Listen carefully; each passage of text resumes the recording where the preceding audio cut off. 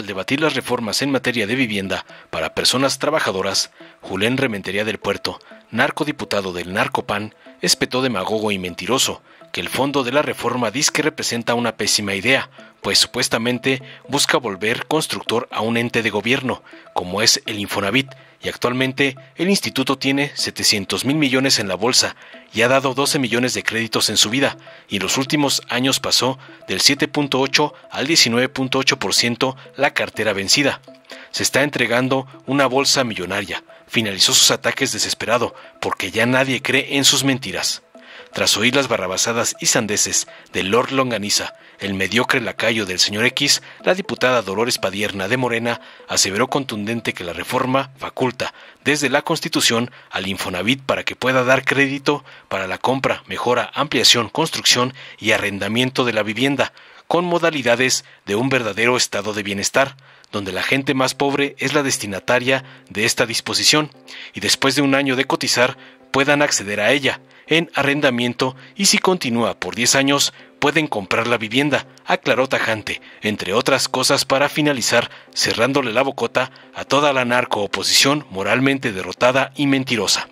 Veamos enseguida cómo Lord Longaniza es aniquilado por la cátedra de Dolores Padierna por atacar la reforma a la vivienda propuesta por AMLO, como lo ordenó su patrón, el Ampón Claudio X.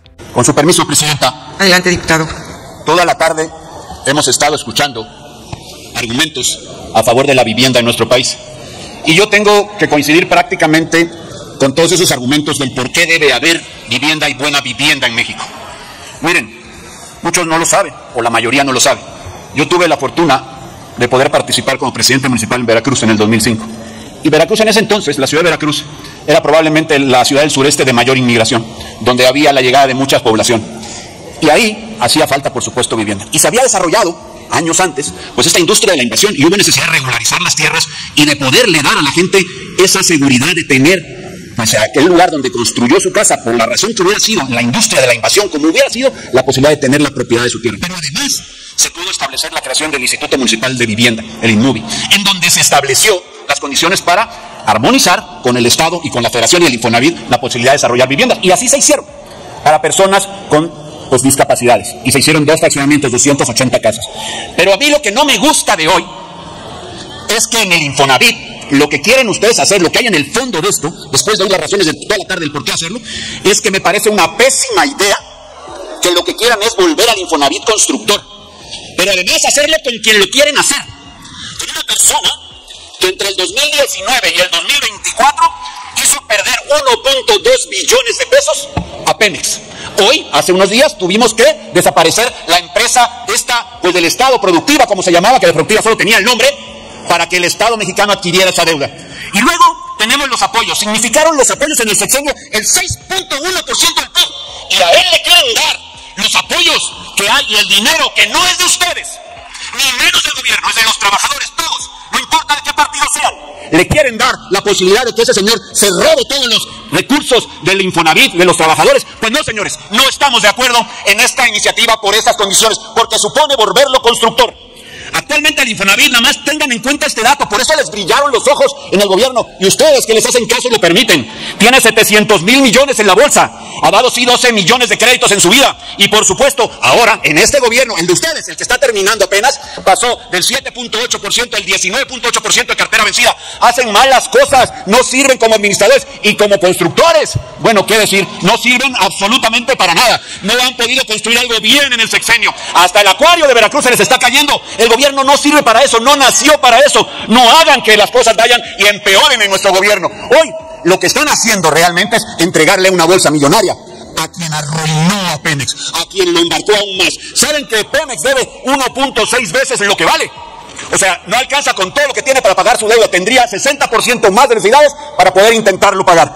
Es una malísima idea. Y luego pretender que construya 160 mil casas por año el Infonavit es simplemente inadmisible. Eso equivale a 456 casas por día. Es mentira, ustedes lo saben. Desde ahora, desde ahora, desde este momento, les anticipo que el fracaso del Infonavit en manos de este señor, porque lo ha demostrado en Pemex. Permítame, compañero diputado. Eh, diputado Dorin, ¿con qué objeto? Sonido al... Sí, Presidenta, por su conducto consultar a ver si me acepta la pregunta. ¿Le consulta al? Sí, acepta la pregunta. Adelante, diputado. Gracias, Presidenta. Diputado, yo coincido con usted en que Octavio Romero Pérez es un hoyo negro fiscal. Habiendo dicho eso, le preguntaría dos cosas. No solo es la mala administración, es la corrupción de Baker Hughes, de Felipe Obrador. ¿Ese qué riesgo representa? Habiéndose probado su manifiesta corrupción y tráfico de influencias en contratos partidistas a favor de simpatizantes de la Cuarta Transformación para los ahorros de los trabajadores que administraría este hoyo negro fiscal presupuestal. Y la segunda, ¿qué riesgo nos representa esta incapacidad que tuvo un orador previo para justificar 100 casas, que supuestamente no pudo encontrar figura jurídica como el legado, la asociación de derechos o cualquiera para trasladarle el dominio, posesión y propiedad a los legítimos eh, trabajadores defraudados, según pareciera. ¿Qué podría usted comentarnos con su experiencia administrativa desde el gobierno de Veracruz en estos temas de vivienda? Por su respuesta, muchas gracias. Adelante, diputado, por su respuesta. Gracias, diputado. Yo lo único que puedo decir para contestar esa pregunta que hemos visto los ejemplos de lo que ha pasado. Estos que menciona, de Felipe Obrador, de los hijos del el expresidente, de cada uno de los funcionarios que han sido llamados a cuentas, que han sido exhibidos públicamente. Lo que pasó en Segalmex no pasó en los sexenios de Calderón, ni en los de Peña, ni en los de Fox, ni en los de nadie. Pasó en los de Morena. Ahí es donde pasó, ahí es donde se robaron el dinero y hasta ahora no sabemos qué fue de ello. Entonces, me parece que lo que encontraron en el Infonavit y en esta reforma es una especie de diamante en bruto, en donde lo que quieren es robarse todo ese dinero, porque eso es lo que pasa con ello. Por eso decía hace un momento, diputado, que yo anticipo desde ahora, y vean el día que es, 23 de octubre de 2024, y lo podemos revisar dentro de unos años que termine esta legislatura y habrán de ver los resultados si como parece ustedes aprueban en estas condiciones esta propuesta, que lo único que quiere es volver constructor a un ente del gobierno que ya aprobó en el pasado que no sirve para ello. Y no me refiero al pasado hace décadas, me refiero al pasado actual, donde no fueron capaces de hacer una obra bien, de hacerla en tiempo, de hacerla de calidad, de hacerla al precio que lo pactaron. No hay una que puedan decirme, y si no, dígame alguno qué obra de las que ofrecieron en el sexenio pasado cumplió en tiempo, en forma, en precio y en calidad. No hay una sola. ¿Por qué tenemos que creer que van a poder hacer casas? ¿Por qué tenemos que creer que además lo van a hacer de manera honesta? Si ya sabemos cómo son. Dicen que la mula no era arisca, los palos le hicieron. Ustedes han hecho a esa mula mucho más que arisca, porque son una bola de pillos que lo único que quieren es robar. Sí, sí, aunque les duela. Eso es lo que son y eso es lo que han venido haciendo y es lo que quieren hacer con esta reforma. Exactamente eso. 23 de octubre, grábense la fecha, el día en que murió la propuesta de vivienda en este país. Y por cierto, el 22, grábense también la fecha, es el día en que nace la muerte, por decirlo así, de la Corte, con esa iniciativa retrógrada, autoritaria y totalitarista que ustedes quieren impulsar. Es cuento, diputado, aquí acabo con mi tiempo y con la respuesta. Que le vaya muy bien con su Infonavit y con su forma tan mala de hacer las cosas. Estamos debatiendo una reforma constitucional importantísima para facultar desde la Constitución al Infonavit para que pueda dar crédito, sí, para la compra de vivienda, para la mejora, ampliación de vivienda, para la construcción de vivienda y para el arrendamiento de la vivienda, con modalidades de un verdadero estado de bienestar, donde los más pobres, diputada, eh, donde la gente más pobre es la destinataria de esta constitución. Después de un año de cotizar al Fondo de la Vivienda, las y los trabajadores podrán acceder a una vivienda en arrendamiento y si continúa la cotización al Infonavit a lo largo de 10 años, puede comprar esa vivienda y el monto del arrendamiento nunca será mayor al 30% de un salario. Aquí las condiciones que se ponen es no haber dejado de aportar al Fondo de Vivienda y no ser propietario de otra vivienda en la Constitución de 1917 fue la primera en incluir los derechos sociales y ya en el artículo 123 se establecía el derecho de las y los trabajadores a la vivienda. Eh, en los 70 nace el Infonavit. Nace primero eh, pues para administrar el fondo de vivienda y con facultades muy importantes. Eh, por ejemplo, en los 80 que se desarrolla este trabajo del Infonavit, se hicieron muchas unidades habitacionales que se llamaron multifamiliares. Algunas fueron ejemplo de América Latina. Luego, en la década de los 90, la política cambió. El Infonavit dejó de construir viviendas solo para financiar crédito a la vivienda y dándole el dinero al sector privado. Eso es lo que en realidad les duele a algunos, que sus negocios van a quedar ah, hechos a un lado. Y no porque el sector inmobiliario vaya a quedar al margen de esta constitución, solo que el Estado empieza primero por los pobres. En el 2020 ya con la iniciativa del presidente López Obrador, el Infonavit se reformó para que los créditos que antes se entregaban a las inmobiliarias que no a los trabajadores, sin intermediarios, se le pudieran entregar directamente a las y los trabajadores para la compra de sus terrenos o para la autoconstrucción. En el 2023 se volvió a reformar la ley del Infonavit para que ingresaran los migrantes, trabajadoras, trabajadores del hogar y también ellas, ellos, como trabajadores, pudieran ingresar a, la vivienda. La, llegó a la presidenta, la presidencia y por obvio de tiempo diré simplemente que a la presidencia de la República llegó una giganta y esta giganta se ha plantado, planteado metas eh, a la altura de los grandes retos del país y a, la altura de los grandes objetivos de la cuarta transformación. Habrá en este sexenio una nueva política de vivienda a través del Infonavit, del CONAVI, de SEDATU, del INSUS y del FOBISTE. El Infonavit, en efecto, construirá 500 mil viviendas con una inversión de 288 mil millones. 250 mil créditos serán para mejoramiento de vivienda con una inversión de 20 mil millones. La CONAVI construirá 500 mil viviendas para toda la población de bajos ingresos y que Marisela. Diputada, permítame la oradora. Diputada Marisela, solicita la palabra con qué objeto.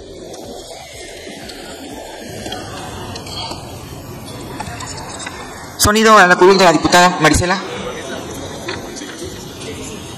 Gracias, diputada presidenta. Si a través de su conducto la oradora me permite una pregunta. Dolores Padierna. Por supuesto, diputada, gracias. Muchas gracias, diputada Dolores Padierna. Como usted lo menciona al principio de su intervención, esta discusión es de un tema de suma relevancia para todo el país. Y a mí me gustaría poder tener la posibilidad de que usted nos pudiera, eh, en forma muy concreta, cuáles son los cambios que establece esta iniciativa eh, constitucional del artículo 123.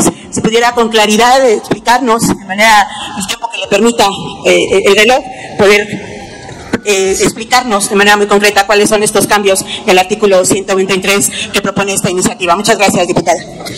Adelante, diputada, con la respuesta. Diputada, le agradezco mucho la pregunta, porque en efecto en tan pocos minutos no se puede explicar al detalle cambios importantísimos que está, están en este documento. Eh, primero, todo el texto cambia el lenguaje a un lenguaje de género. Deja de decir los trabajadores, los trabajadores, casi en todos los párrafos, para decir proporcionar vivienda a las personas trabajadoras. Todo el texto usa lenguaje de género.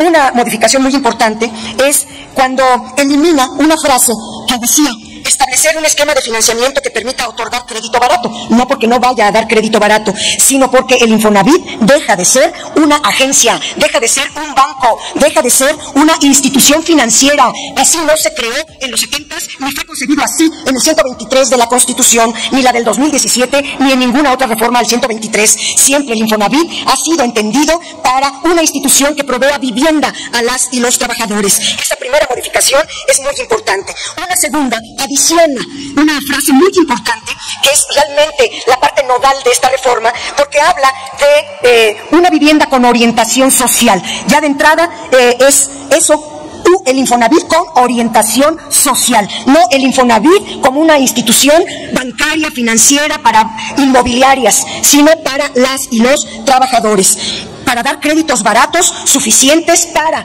adquisición, mejora de vivienda y también podrá invertir recursos en la construcción de vivienda para que todas las personas trabajadoras puedan comprarla o rentarla.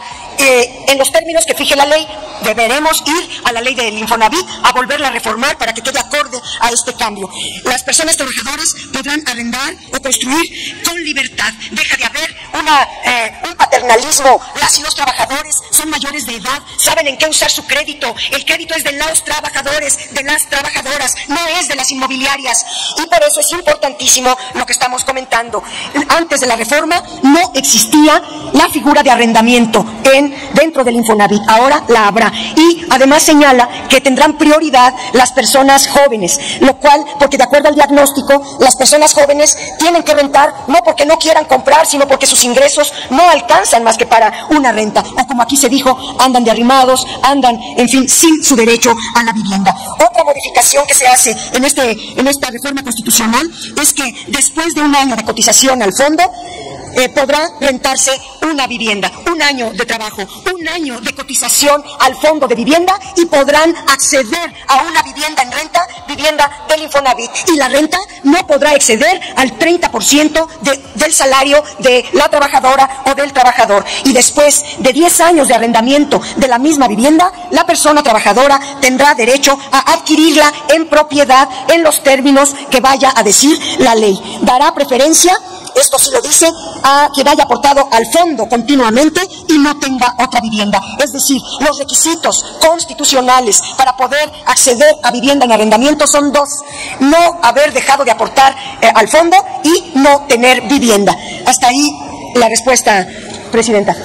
Gracias, diputada. Permítame. La diputada Karina Piceno. Sí.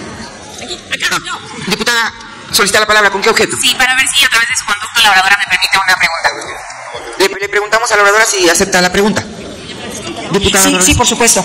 Adelante, diputada Karina. Diputada, le escuché con atención su intervención al principio, pero me gustaría conocer más sobre el tema del programa de vivienda de la doctora Claudia Sheinbaum. Entonces, si me podría ayudar para enfatizarlo y conocer más, por favor. Eh, muchas gracias. Adelante con la eh, respuesta, diputada. Gracias, presidenta. Eh, diputada Karina Piceno, muchas gracias por su pregunta. En efecto, la política de vivienda de la doctora Claudia Sheinbaum no tiene precedentes. Es una nueva política habitacional muy importante.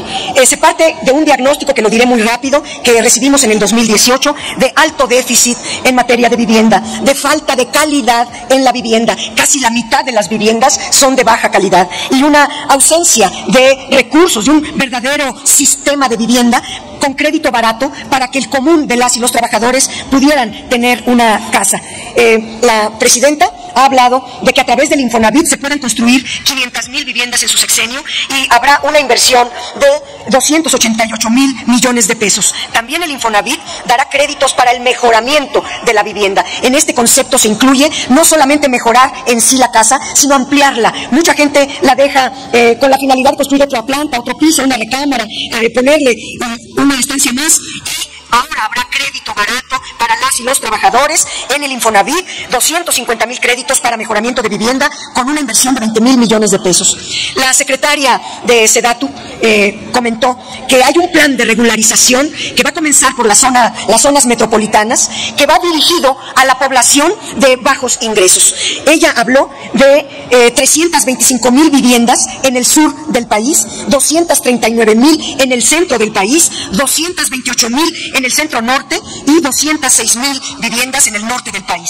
450 mil acciones de mejoramiento, pero no en cualquier parte, sino exclusivamente en zonas marginadas. Y habló también que a través del INSUS, del Instituto Nacional eh, de Suelo Sustentable, se harán 700 mil trámites de escrituración, lo cual ayudará bastante a resolver muchos problemas que tienen las personas, no tanto por no tener papeles, a veces es por no tener recursos para pagar notarios. Y se requiere que el Estado vele por los derechos de los más pobres para que también haya una escrituración desde el Estado que permita la regularización de los trámites de escrituración.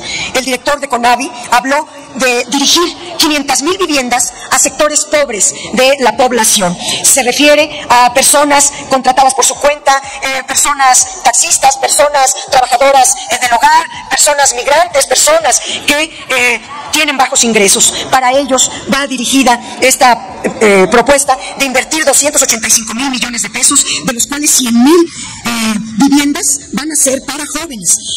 estas viviendas, fíjense qué importante, son con cero tasa de interés. Es prácticamente recuperar el costo.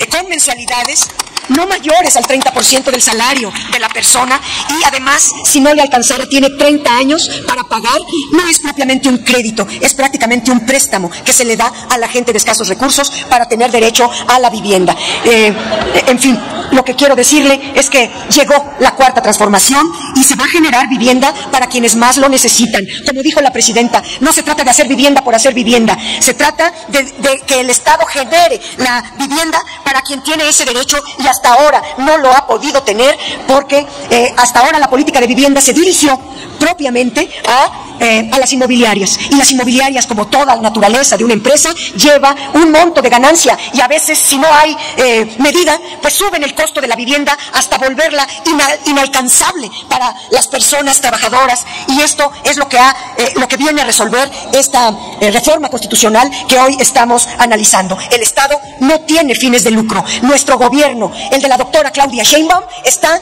con la ruta de primero los pobres y toda esta primera vivienda será para los pobres. Eso no significa que las inmobiliarias no puedan construir, que construyan. Hay mercado para todos. Somos 125 millones de personas. Hay mercado para eh, todos. Pero el Estado vela por los más pobres. El Estado no tiene fines de lucro. El Estado generará vivienda porque la vivienda es un derecho constitucional que a partir de la cuarta transformación podrá hacerse una realidad. He contestado a su pregunta, diputada.